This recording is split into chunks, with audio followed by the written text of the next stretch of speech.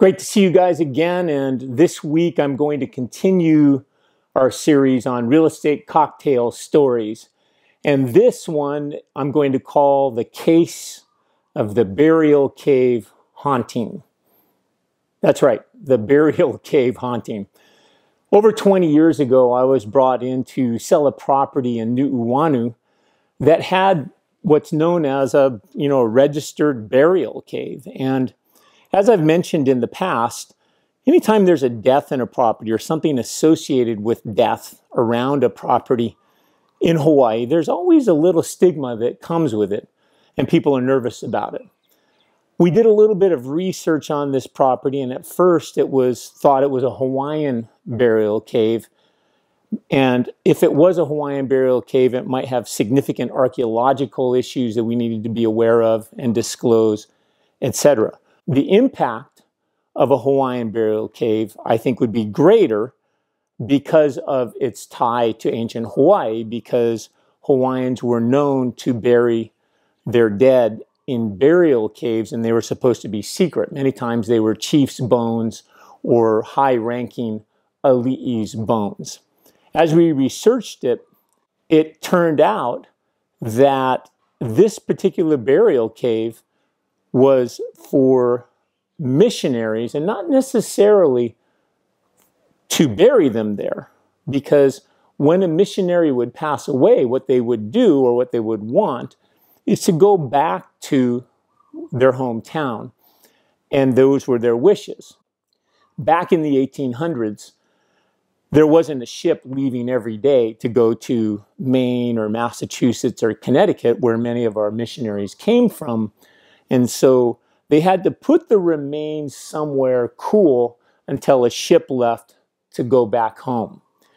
And it turned out this particular burial cave was used in that manner for missionaries and the storage of their remains until they could go home.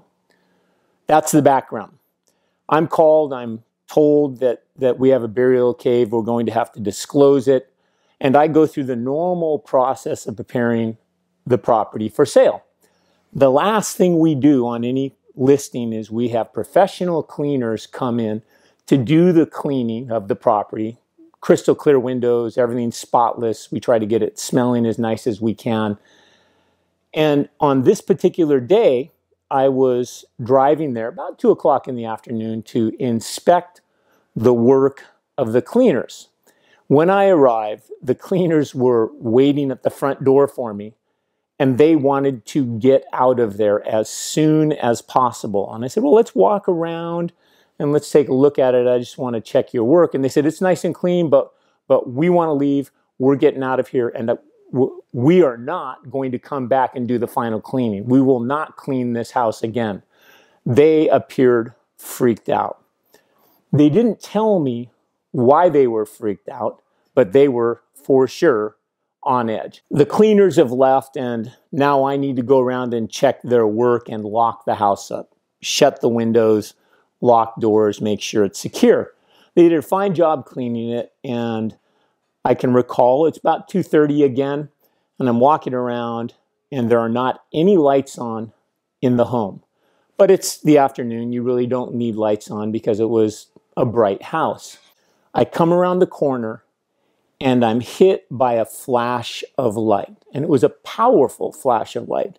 For those of you that are old enough to remember, it was almost as if a flash bulb had popped and the light had hit me and it had texture. And there was not anything on in that hallway. There was no source of light around. To this day, I have no explanation for what that was. And if any of you have ideas, let me know. I can tell you that it freaked me out too. I walked around as quickly as I could, got the house locked up, and left. For about the next week, I found myself uncomfortable with this house. Every time I would go there, I felt like someone was watching me or I wasn't alone there when in fact I was alone. I would go to bed at night and I would wake up in the middle of the night concerned, almost haunted by this this house, it got so bad that I called my cousin, who is a kumumeli, a master of the chant. And, and I asked him, do, I need to get this house blessed. What, what do you think I need to do? And he said, You know, I'm happy to come and bless it, but I think the better solution, at least initially, is for you to shift your attitude and thinking to one of respect and honor so that every time you go to the house, you acknowledge that there may be entities there and that you respect and honor them. You hope that they help you with the sale process. I took that to heart. My fallback was always to have him come and do the blessing. And it was interesting. Once I took that position internally, things got better. I wasn't freaked out by the house when I went there. I didn't feel like someone was watching me. And ultimately, we got the house sold. And we found the perfect buyer. The agent representing the buyer told me that he was a retired minister and he loved the idea that this burial cave was there. So ultimately, we closed the sale. Again, until this day, I do not have an explanation for that flash. This is a tease or a bit of a tease. I can tell you I'm going to do another video in the future where I discuss a potential link to the flash and and that might explain it but I don't know for sure. I know this is interesting stuff. I I know you're probably wondering what the heck is going on with Keahi and telling ghost stories. I can tell you as God is my witness that flash did hit me and uh, and I'm not sure exactly what it was. We disclosed it and we closed the sale. If you'd like to chat with me, feel free to call me. My number is 808 398 3220. And you have a great day.